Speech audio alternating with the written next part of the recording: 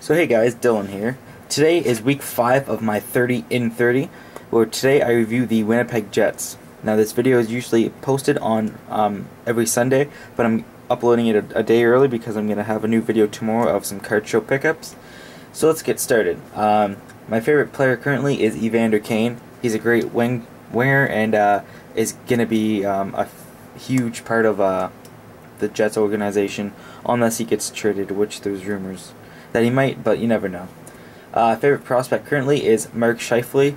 Um, plays for the Barrie Colts of the OHL. Um, I've seen him play a few times. He's currently signed with them and played, um, I think, eight games, but he did get sent sent back down to uh, his junior team, so he technically is still a prospect. Um, favorite goalie is Ondrej Pavelec. Um, I don't really like Al Montoya that much, so that was the only other goalie. Favorite goalie pass.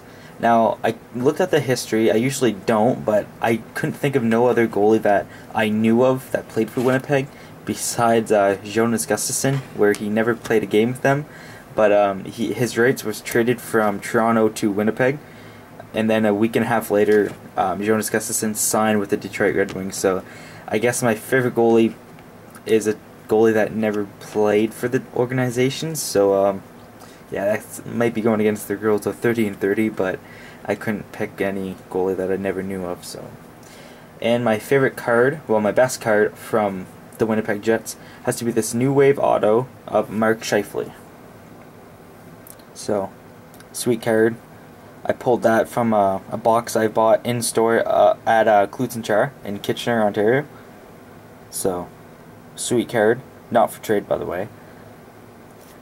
So thanks for watching, guys. Next week I review the Vancouver Canucks.